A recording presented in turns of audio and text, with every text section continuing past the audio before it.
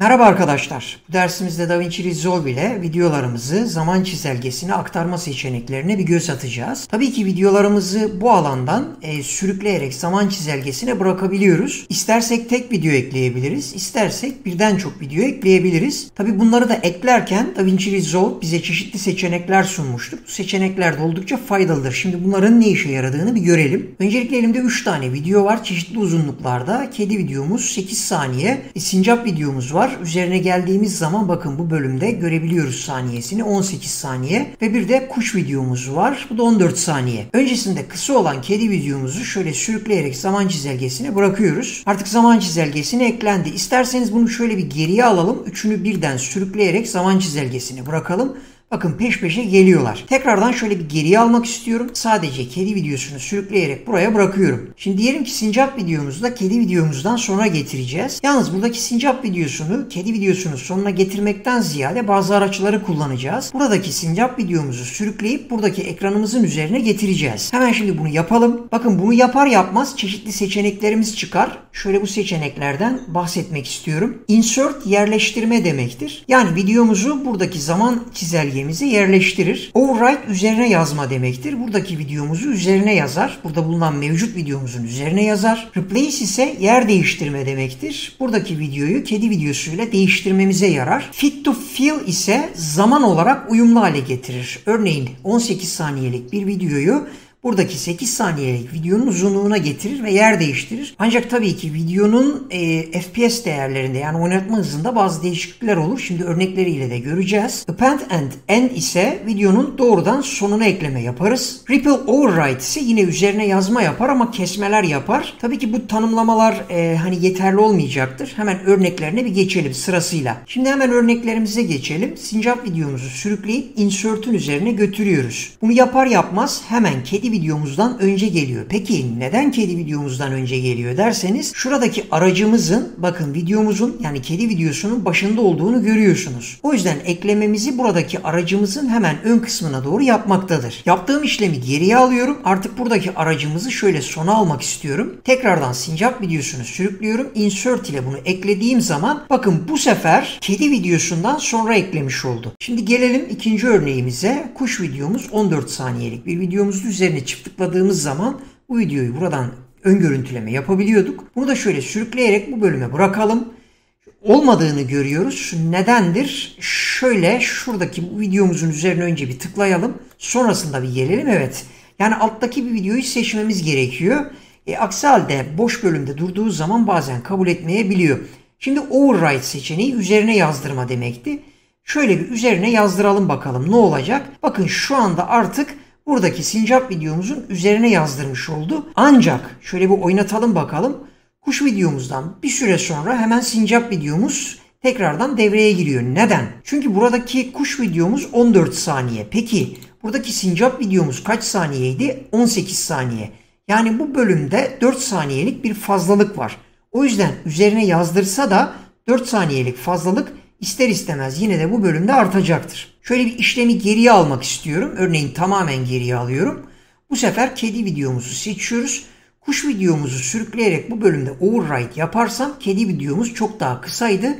Hemen bunun üzerine yazdıracaktır. Ama tabii ki şu anda başa almadık. Bakın şöyle başa alıyorum. Bunlar önemli. Baş tarafı aldıktan sonra sürüklüyoruz override diyoruz. Artık üzerine yazdığını görüyoruz. Bir noktada artık kedi videosu tamamen ortadan kaybolmuş oldu. Gelelim üçüncü seçeneğimize. Tekrardan şöyle bir başa alalım. Bu videomuzu seçelim. Üçüncü seçeneğimizde yine süresi uzun olan videomuzu sürüklüyoruz. Replace diyoruz. Yani yer değiştir diyoruz. Böyle tıkladığımız zaman aşağıdaki video ile artık yer değiştirdiğini görüyoruz. Yani bir noktada alttaki videoyu silip üstüne yeni videoyu tabii ki normal saniyesinde olmak üzere mi bir bakalım.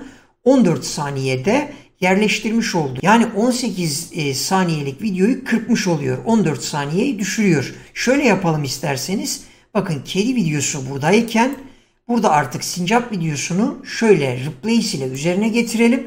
Bakın artık kedi videosu 8 saniyeydi değil mi? O zaman bu da artık 8 saniyeye göre kırpılmış oldu replace yapıyor, yer değiştiriyor ama saniyeden de kırpıyor. Yani önceki videonun saniyesine uyumlu hale getiriyor. Tekrardan şöyle bir geriye almak istiyorum ve başa alıyorum.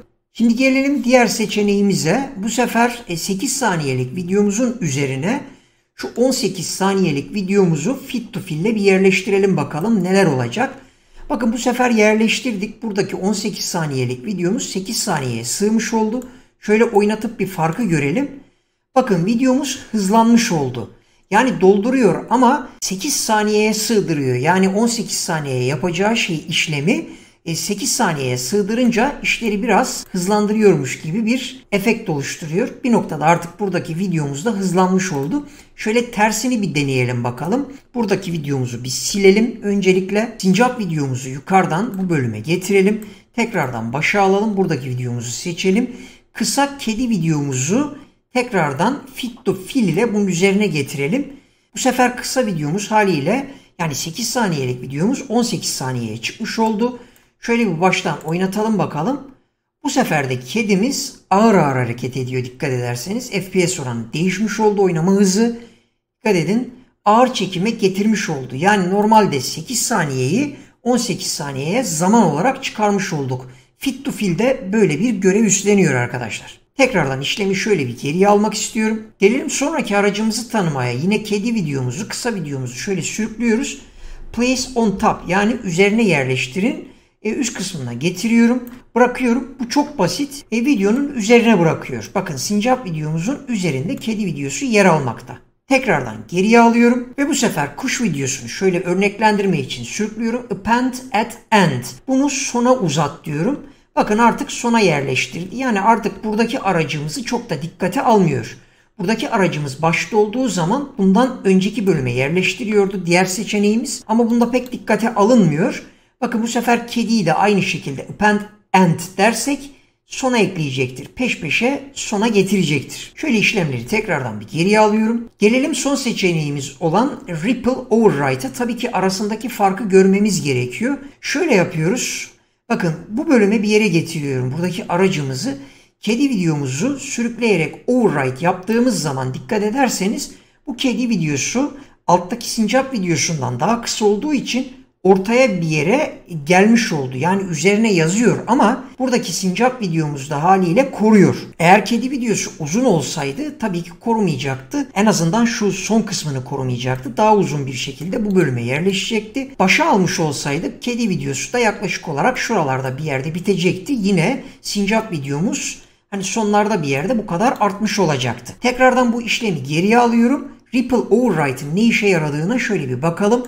Kedi videomuzu sürüklüyoruz. Bu sefer Ripple Override yapıyoruz. Şimdi ne oldu? Bakın dikkat edin. Kedi videosu alttaki videoyu tamamen silmiş oldu. Yani bu şekilde eklemelerde videonun diğer kısımlarını e, kırpıyor, kesiyor. Ripple Override'da bu korumayı yapmıyor. Üzerine yazıyor ama diğer videonun fazlalıklarından da kurtuluyor. Şöyle bir geriye alalım bakalım. En başa alalım. Tekrardan kedi videosunu getirelim. Bakın Ripple Override yaptığım zaman aynı işlemi yapıyor. Fark eden hiçbir şey yok. Tekrardan diğer videomuzun fazlalıklarından kurtulmuş oldu. Evet arkadaşlar e, DaVinci Resolve'da zaman çizelgesine videolarımız nasıl eklenir bu seçenekleri görmüş olduk. Umarım sizler için faydalı olmuştur. E, videolarımı faydalı buluyorsanız e, beğen butonuna tıklayarak bana destek olabilirsiniz arkadaşlar. Evet sonraki DaVinci Resolve derslerinde görüşmek üzere. Kendinize iyi bakın. Hoşçakalın, mutlu kalın diyorum.